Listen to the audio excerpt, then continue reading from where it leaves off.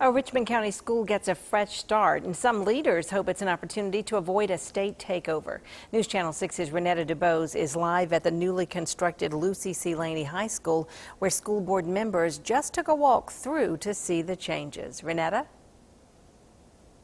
I'm standing inside of the portion of the school that is brand new. We're inside the math lab where students in the fall will sit here at these collaborative style desks and chairs inside of the new classrooms also inside of the new class, a new smart board.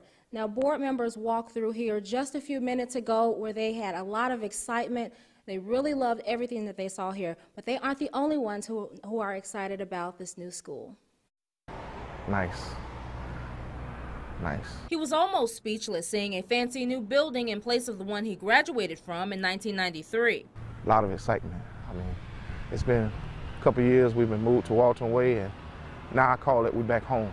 Lucy C. Laney High School students attended their last classes at Tubman and will return to a 147,000 square foot newly reconstructed school on Laney Walker Boulevard in the fall. Students will sit in 23 new classrooms, a new CTAE and fine arts building, and a new cafeteria this fall. Lining the new entryway, which received a facelift, are bricks with names of former Wildcats, including Marquette Sims. He thinks this is a big deal for current students the shooting range for the ROTC, uh, the new auto mechanics center for working on cars, uh, even the music department, the new chorus room, which I was a part of, the new band room.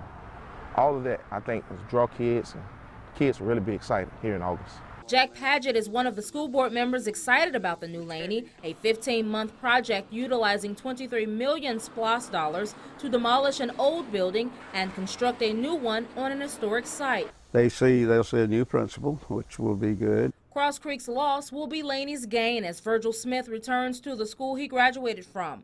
Padgett tells us he believes the students will attain better academic success with the change, and it starts with the school's leadership and ends with a supportive community. I'm really happy to have someone with the Laney tradition because that is probably one of the greatest strengths of that school is people believe in it, the neighborhood believes in it.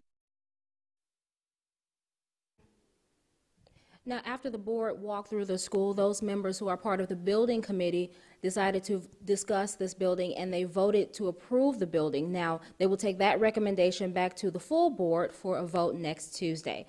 Live in Augusta, Renetta DuBose, WJBF News Channel 6. Back to you.